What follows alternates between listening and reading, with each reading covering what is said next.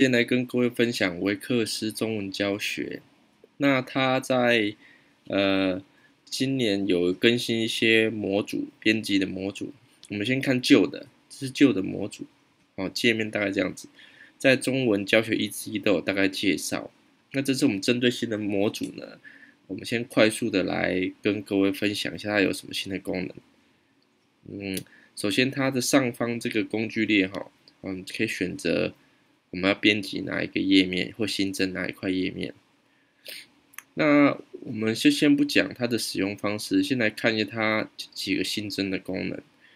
呃，首先我先新增一个空白的页面好了。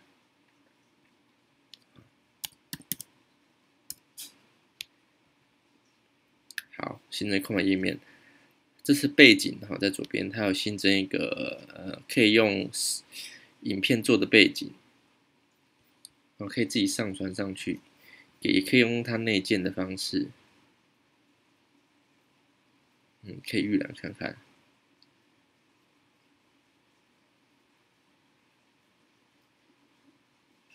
好，我们用这一块好了，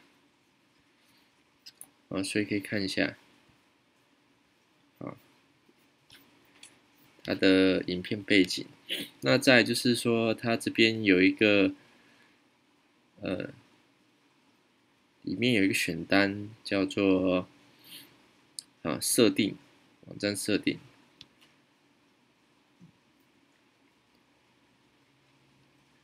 好，里面可以看到你目前的一些资讯。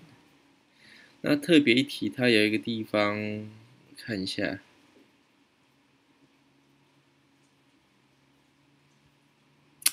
这里啊，语言跟区域的部分，它新增，哇，它竟然有新增中文呢，啊，对，还有时区，然后在 contributors 这边呢，呃，这意思有点像是编辑者权限。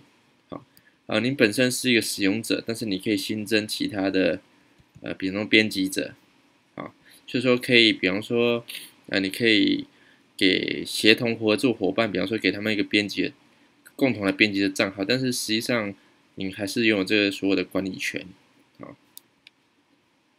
所以这是新增的蛮多的，好，那以上呢就先各位分享到这边，那在下一次我再跟各位介绍这个。新版的模组怎么操作？那特别一提示是说，我再把它改成，嗯，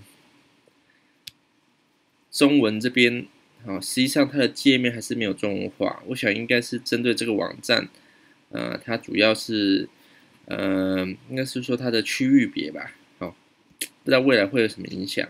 我目前来看，它整个界面还是以英文的为主。